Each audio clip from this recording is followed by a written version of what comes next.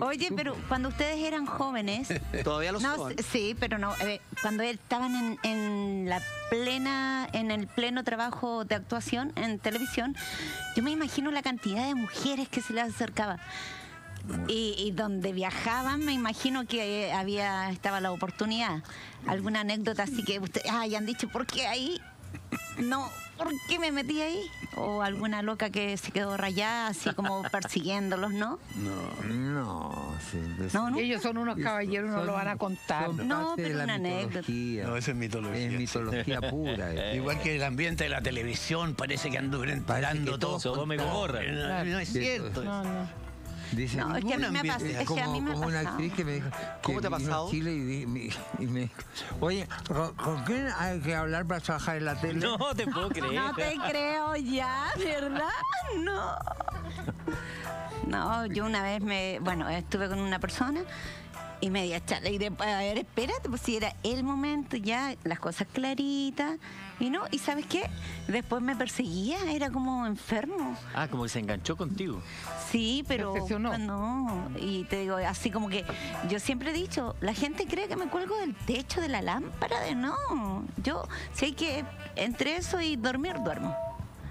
Así de floja. ¿De verdad? Pero espérate, esa- ese, ese hombre que tú dices que después se obsesionó, que te llamaba, llama no sé qué. erotomanía. Claro, pero no es ¿Eh? lícito que se Sí, el enamore. síndrome de Adele se- H. Que se La enganche. hija Víctor No, Hugo porque cuando tú les cantas las- las cosas claras antes a de- Y se pone síndrome de Adele H. Pero, pero que no nos perdamos ahí, porque es interesante lo que está diciendo, pero Aquí estamos el grupo de los viejos celebrando. No, pero cuando uno le dice a la otra persona, ¿sabes que vamos a tener sexo nada más y listo? No nos queda otro. Y, y- y la otra persona no entendió, es chalapo. Absolutamente chala la otra persona. Claro, si se lo dices claro, si se lo dices claro desde el comienzo. ¿cómo No, yo no estoy hablando de cuando ustedes han estado casados. síndrome Me de que alguna vez fueron Ahora espérate, solteros. espérame, ahora Anita, Anita, Pero soltero. escuchar acá. Solteros, po. Sí, pues lógico que fuimos. Por eso solteros, nunca pues, no hubo una loca que los persiguió. también.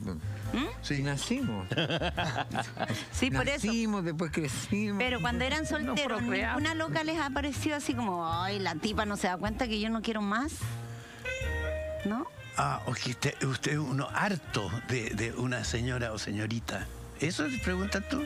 Como que se se lo- harta, pues si uno se harta, tú también te, te hartaste de, tu- de- de- No, chiquillo, lo que No, le como que pregunto si yo. algún, alguna aventura, alguna chiquilla por ahí Antes se de anduvo obsesionando más allá de la cuenta. Ah, Ah, ah, como atracción fatal. No, no me tocó. No. No, no.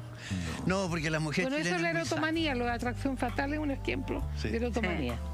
Es muy sana, la mujer chilena es muy sana. eh, es- es- es- No anda siempre- así, potente. creen que, que por ser artista así uno es más La tienen más de oro. es como No, dices no. tú Tiene Tú de oro. dices, todo el mundo piensa que, tú eres muy liberada y no Tiene- eres una mujer que, que, que te gustan las cosas bien derechas Pero, pero es que No, con lo guapos que me imagino que eran estos hombres, yo digo, si yo hubiese tenido la edad y me hubiese tenido la oportunidad de encontrarme con alguno de ellos dos, estando solteros, y yo con la edad de ellos, Te habría insinuado. yo eh, no sé, pero sí le hubiese tirado un chirolazo todo Pero el rato. pero es cierto lo que es cierto lo que decía Tomás. Hay muchos mitos también respecto mitos al, al ambiente te dicen, artístico. claro y, y tú generalmente mira cuando estás en el en el pic de la fama eh, entonces qué pasa trabajas mucho y como trabajas mucho termina- siempre cansado, la función agotado, ganas de generalmente dormir. muerto de cansancio quieres ir a comer algo ir a tomarte un trago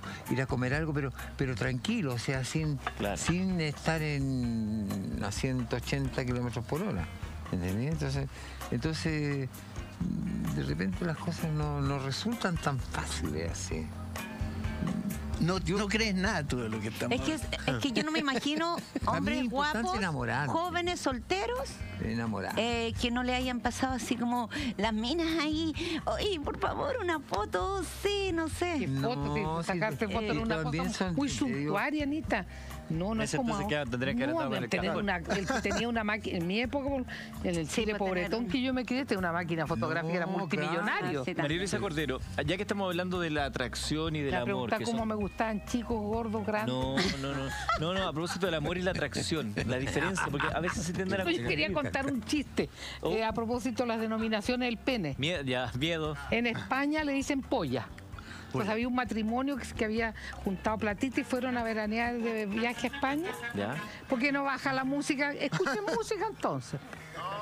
Ya, pero no. No, pero la maldita televisión gritando. te pone música y te invitan a hablar. ¿Cómo es la ¿Qué le cosa? importa? Usted preocúpese de lo suyo. La- no, la gente dice, doctora, no se le escucha lo que habla. Si no hay música ahora.